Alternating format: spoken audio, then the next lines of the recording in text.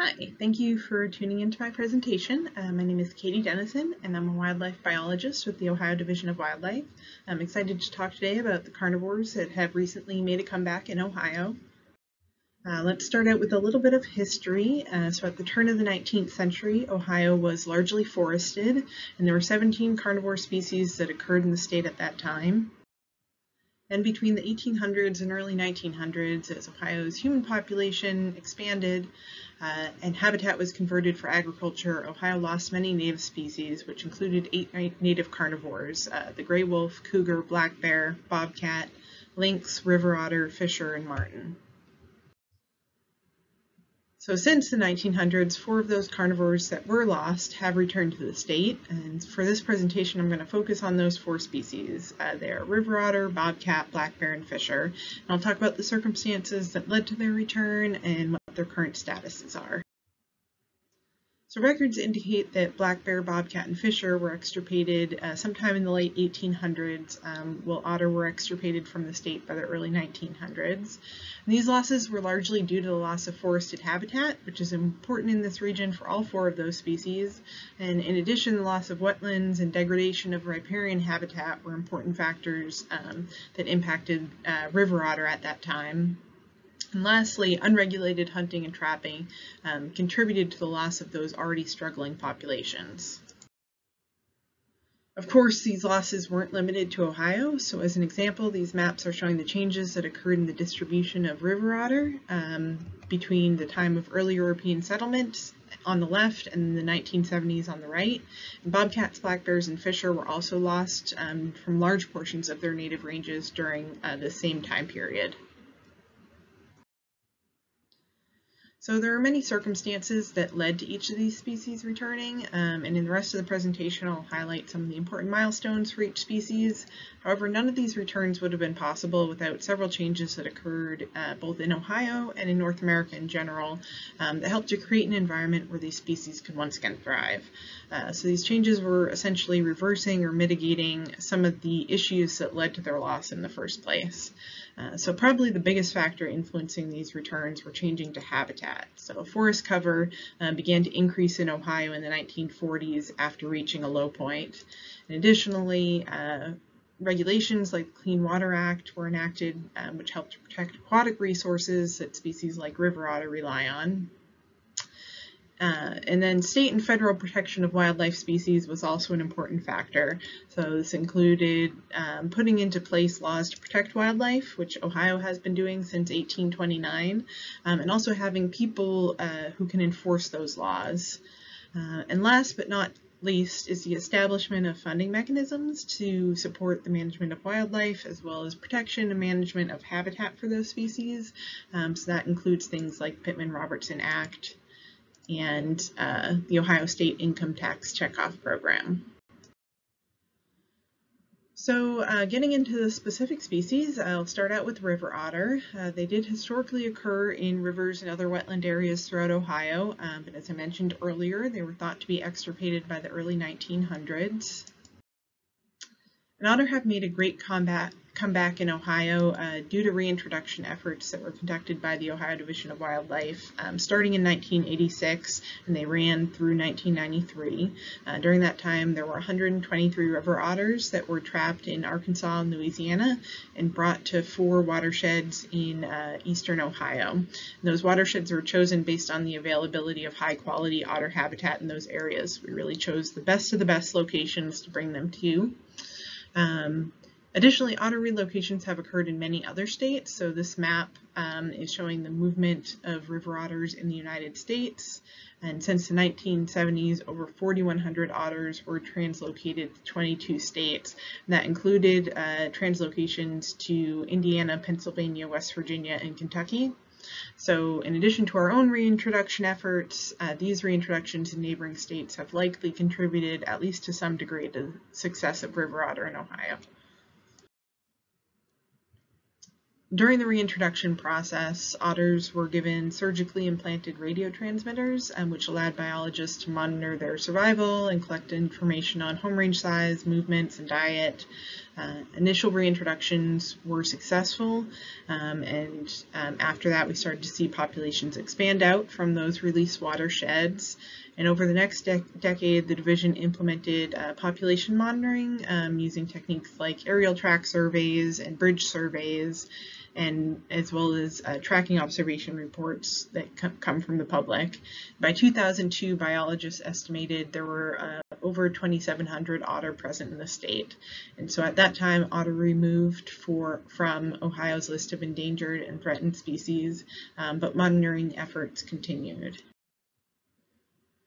Then in 2005, Ohio's first modern-day otter trapping season was implemented. Uh, harvest was limited to 43 counties in eastern Ohio um, with both zone and statewide bag limits for each trapper. Uh, trappers are also required to report harvest, and we encourage voluntary submission of carcasses, um, which we use to collect age and reproductive information, um, which is then used in an age at harvest population model, which was developed by uh, OSU recently. Uh, so we can use this information to track the population trajectory um, and based on harvest results, we can also get some information on otter distribution throughout the state. So this map is showing the distribution of harvest by watershed in the first two years after harvest was expanded to be statewide, um, which occurred in 2018. So harvest is most common near the original release site watersheds, which are outlined in black on the map. Um, but we do also see some harvest in northwest and southwest Ohio, which is uh, pretty far from those original release sites. So that brings us to the current status of river otter. Uh, we continue to monitor river otter through harvest and surveys. Uh, bridge surveys are conducted uh, at 422 sites across the state. Uh, staff visit these sites annually uh, in the winter and they walk 300 meters upstream and 300 meters downstream at the site um, and they make note of any river otter sign that is observed. So from that, um, we can get an idea of um, what's happening with the population. So this graph here is showing the proportion of bridge sites where sign was detected um, each year from 2000 to 2020. Um, so the red line is showing uh, bridge sites in northeastern Ohio, and the blue is showing bridge sites in the rest of the state. So we do see a lot of variation from year to year, um, but overall we see an increasing trend in observations, um, which indicates an increase in otters in the state. So we can also get an idea of distribution from these surveys. Uh, so this map is showing the proportion of surveys um, where sign was detected at each uh, bridge site over the course of five years. So similar to our results from harvest, detection rates indicate that river otter uh, remain most abundant near those original release site watersheds, uh, but we do also see a fair number of detections in central and western Ohio. And lastly, we do still use information on otter sightings submitted by the public uh, to add to our knowledge of otter distribution in the state. Um, and this is particularly useful in areas uh, where otter are still uncommon, uh, so like central and western Ohio. So moving on to bobcats, uh, they also historically occurred throughout forested areas of Ohio, uh, but they were extirpated by 1850. In 1946, the first modern-day sighting of a bobcat in Ohio was recorded, um, and after that, sporadic sightings continued throughout the mid-1900s as bobcats dispersed from populations in neighboring states. Um, and then in, re in, response to those occasional sightings, uh, bobcats were listed as endangered when Ohio's list of endangered and threatened species was established in 1974. And since that time, sightings reported by the public have been the primary method that we've used to track bobcat distribution and abundance in the state. Uh, first through the use of sightings postcards and more recently uh, through a reporting page that's available on the division's uh, website and Prior to the year 2000, the division never received more than five confirmed sightings in a year, but in the 2000s, confirmed sightings of bobcats started to steadily increase and have continued to do so since. So this graph is showing the total confirmed sightings that are reported each year and the different colors represent the different methods used to confirm sightings. So most confirmed sightings are trail camera pictures or animals that were killed on the road. And at the same time as sightings were increasing, the distribution of confirmed sightings started to expand to include uh, additional counties in southeast Ohio and further out. So this series of maps is showing the number of confirmed sightings by county for five-year periods from 2001 to 2020. Uh, based on the consistent growth in the number and the distribution of sightings observed over the previous decade, um, bobcats were downlisted threatened in 2012. So around this same time, the division was conducting a number of research projects to better understand the bobcat population in Ohio. And based on the results of uh, that research, as well as monitoring and evidence of a, an established bobcat population in southeast and southern Ohio, uh, bobcats were removed from Ohio's list of endangered and threatened species in 2014. Uh, so this slide just lists some of the research that has been done on bobcats in Ohio over the years um, and includes a trail camera study uh, that looked at bobcats bobcat occupancy in southeast Ohio, um, a GPS collar monitoring research project, um, which provided information on home range, habitat use, and mortality. Uh, so this map here is showing some of the location data that was collected from three bobcats that were collared in Noble County. And the division has also collected several hundred uh, roadkill bobcats over the past two decades, and samples collected from these carcasses provided a lot of information on various things like uh, age structure and reproductive status in the population, as well as uh, genetic structure of the population and uh, diet information.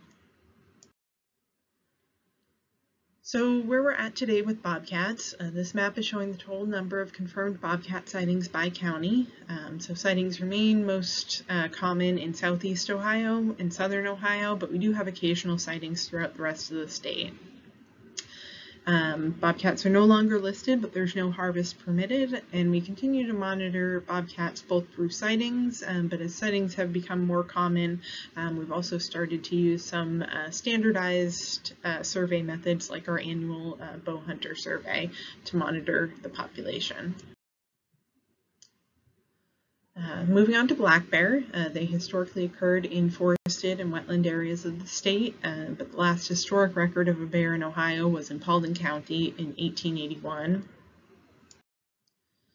Similar to bobcats, occasional sightings of black bears were reported in Ohio throughout the mid-1900s as individuals dispersed from populations in neighboring states. Um, but in 1993, as sightings were becoming a more regular occurrence, uh, the division implemented an official procedure for tracking and investigating black bear sightings in the state. And then in 1995, based on consistent, although few, confirmed sightings each year, uh, black bear were listed as endangered on Ohio's list of endangered and threatened species. Um, and since then, sightings remain the main method that we use to track black bear populations in Ohio. So this graph is showing the number of confirmed sightings in orange and uh, unconfirmed sightings in blue for each year.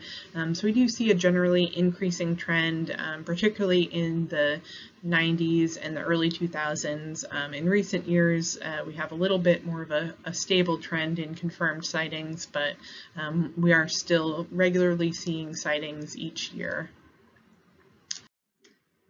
So similar to bobcats and river otters, uh, the division has invested in various black bear research and monitoring projects over the years uh, to try and better understand this population. Uh, so for example, in November 2015, a male black bear was fitted with a GPS collar in Vinton County. Um, that bear remained in the same area within about 12 square miles of his capture location um, throughout the winter until the following spring. Uh, so the picture on the left is showing the entrance to a den site that he stayed in during that time. Um, but then in mid-April 2016, he took off and headed east. Uh, so this map is showing um, his route that he took after leaving. Um, he traveled about 150 miles east uh, into West Virginia um, before eventually settling in Tucker County, West Virginia. So um, when thinking about bears in Ohio, I think it's important to keep in mind the long distances that bears will travel like this. Um, and that's particularly true for young male bears um, who will travel long distances when they're setting out to establish their own home range. Um, and they generally won't settle in an area unless a female is present. So while we do have a number of sightings that are reported each year, most of the evidence we have from roadkill bears as well as trail camera pictures uh, suggests that the large majority of uh, bears that are seen in Ohio are transient male bears uh, or dispersing young males um, and aren't actually resident animals. However, there is some evidence of resident females in uh, the northeast corner of the state. Uh, sow with cubs was documented in Ashtabula County in 2016 and was consistently seen in the same area over multiple years. Uh, so this isn't the first documentation of a sow with cubs uh, because we have occasionally confirmed sightings over the years, um, but most have not been consistently observed over multiple years like this one. Um, unfortunately, a female was hit on the road in Ashtabula County in December of 2021, so it's not yet clear if that was the only female in that area or if there may be a second resident. Um, however, sows with cubs have recently been documented in other counties, uh, Trumbull and Jefferson County, still up in that, that northeastern Ohio area. And today, black bears remain state listed as endangered, and there's no harvest permitted. Uh, so this map here is showing the total number of confirmed sightings uh, by county that have been documented since 1993. Um, so sightings have been documented throughout eastern Ohio, but are most common in northeast Ohio, um, and we continue to monitor bears through, through sightings submitted from the public. And the last species I'll talk about is the newest returnee, which is a fisher. Uh, fisher were also extirpated from the state by 18. So fisher are another species that is recolonizing Ohio by dispersing from growing populations in neighboring states, um, and those populations in neighboring states were aided by reintroduction efforts. Um, so this map is showing uh, changes in fisher distribution over the years. So the largest area with the diagonal hatching is the historic range of fisher, and then the smallest area way up north with cross hatching um, is their contracted range from the late 19th and early 20th century, and then the shaded region um, is fisher range as of 2012. And lastly, those white dots, uh, those are all reintroduction sites. So they were reintroduced into multiple sites in Pennsylvania and West Virginia. Both those efforts were successful and those populations have continued to grow since then. So Ohio had our first modern day sighting in 2013. Um, since that time, we've had 15 confirmed sightings, although we don't have any evidence of reproduction occurring in the state just yet. And in 2019, uh, fisher were listed as a special interest species in Ohio. Uh, there's no harvest permitted and sightings have been confirmed in six counties shown on the map here, all in northeast Ohio. And um, like black bears, we continue to monitor them through sightings reported by the public. So, um, well, there's a lot of good news with these species. The return of carnivores certainly presents challenges as well. Um, so there are reports of nuisance or problem animals that do come up. We see situations like bears destroying beehives or getting into wildlife feeders, and bobcats can cause problems for people who keep poultry. Um, so while some of these situations are unavoidable and we expect for these issues to continue to come up as these species become more common, uh, there's also a learning curve for the public uh, in learning how to mitigate conflict. So the Division of Wildlife can serve as a resource um, and offer advice to individuals or communities um, to, to help as these situations come up. There are also challenges associated with the habitat that's available in a densely populated state like Ohio. So all of these species show some degree of avoidance of urban or highly fragmented areas, and roadkill can be a significant cause of mortality. So making sure that we have a good understanding of how these factors impact each population is going to be important to informing future conservation of these species. So in conclusion, we've come a long way in a relatively short time, uh, but there's still more progress to be made. Uh, so we hope to continue to have more positive news to share about Ohio's carnivores in the coming years. Um, and whenever I put together a presentation like this, I'm always struck by uh, just the sheer amount of information that we gain from citizen participation, citizen science. So I'll end this presentation with a call to action to continue to report sightings of these and other rare and recolonizing species. Um, often in the early days of recolonization, um, citizen reports are one of the best sources of information that we have. So thanks for watching, and if you have any questions, uh, please feel free to reach out. Thanks.